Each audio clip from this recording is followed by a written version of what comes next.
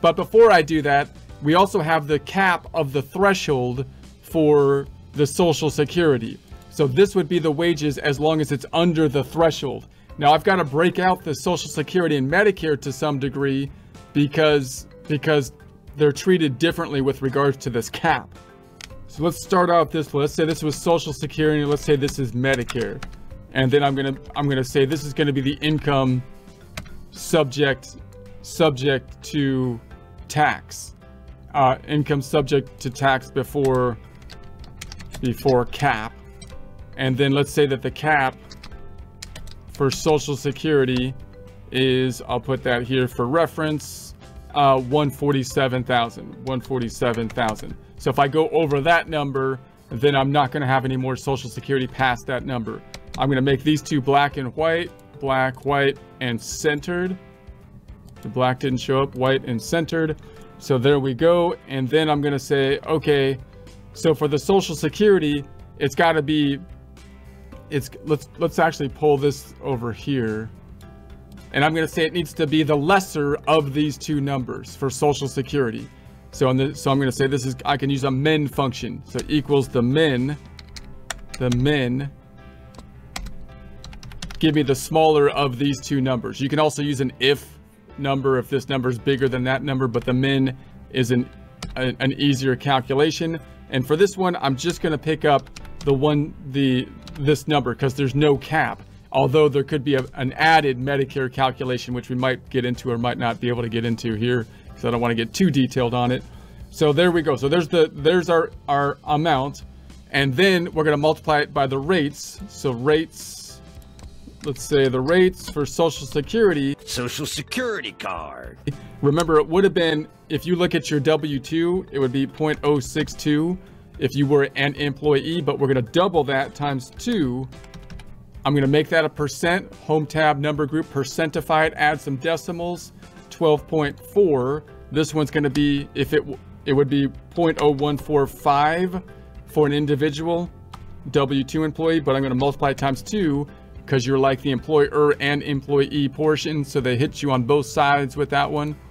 So there we have it. There's our percents. So then I can say, so then I can say the tax is going to be equal to this times this, and this will be equal to this times this, and then I can equals the sum of these two, and this will be like the total for our simple, our simple calculation. So I'm going to say this is the total. Let's make this black and white and centered, and we can see that that's going to be, you know, the total here, and so that looks good. So now I'm gonna I'm gonna move this cell reference because this is where the cell reference is coming from on the well let's just do it this way let's say let's go to my my first page and say that this number needs to be coming from other taxes other taxes I'm just gonna pick up this one for now so it pulls up the proper number and for my adjustments I'm gonna say this equals then my taxes, other taxes, this one divided by 2. And so there we have it. So other taxes, so this 14,130 and we're off by a dollar. That's okay. I'm cool with that. All right, so that's the that's the general that's the general idea. All right, so so now we could have a situation what if there was a loss? If there was a loss, we wouldn't have any self-employment tax, right? So I could go back on over here and say, okay, what if we had a loss? You could say this was 130,000. Now I'm going to go back on over and go, okay, Schedule C has a loss of 10,000. There is no Schedule SE because I don't have any income to record it on. So let's mirror that over here. If I go to the income statement, 130,000, 10,000 loss, pulling that onto my other taxes. So now see that, see, see, I'd like this to come out to zero and it comes out to a negative number. So what I'd like to do is make this cell be zero if it's less than one. So to do that, I can use an if, a logic function. So I'm gonna say equals if brackets, if this times this is greater than zero, then that's a comma. I would like you to do this times this. But if not, comma, do a zero. And I know I did that kind of fast because it's not an Excel course, but that's the general idea of the logic function.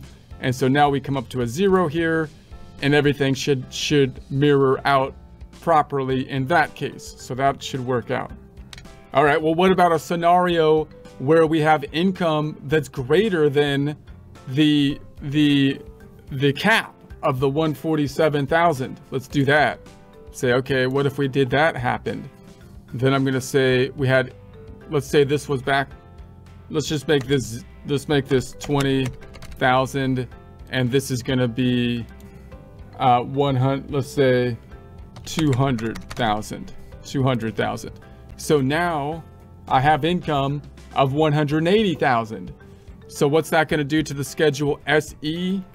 It's going to it's going to cap the social security side at the 147 but not the Medicare Medicare copayments for a year side.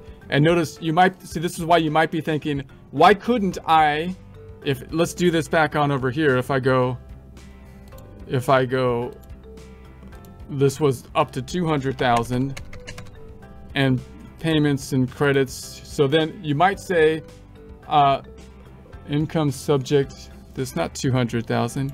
K the heck paso, and this needs to be 20,000. Does that do it? Is that what I had over here? 200, 200,000 minus 20,000. Yes, indeedy.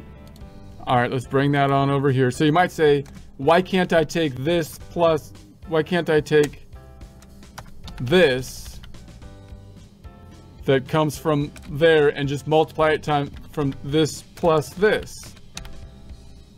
And would be that.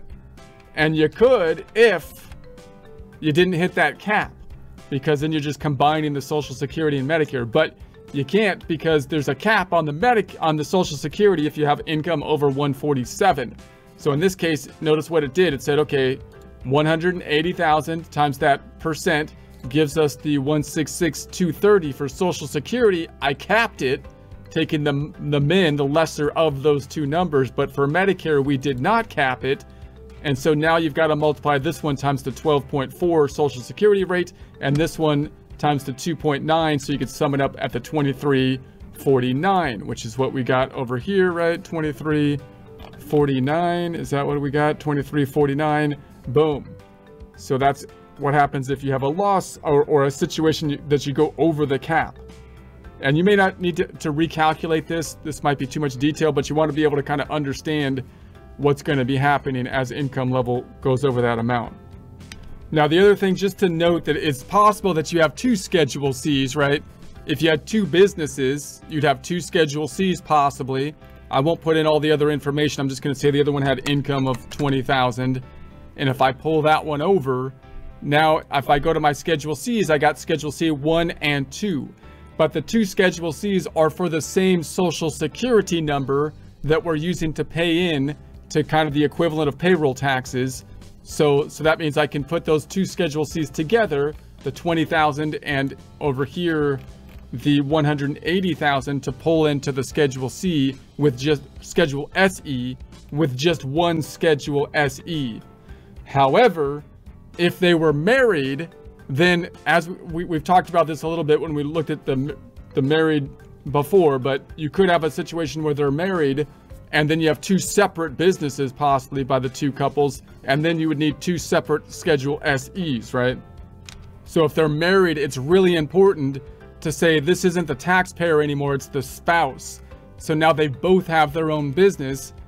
And so then if I pull that one over, now I've got two Schedule Cs with two different businesses, and then I have two different Schedule SEs because for for Noah and and uh, Neo and and Jane because they have their own because it needs to be applied to their own account. Note that that's really important because it's so it's something that can be easily overlooked because the net the net impact on the total self-employment tax will likely be the same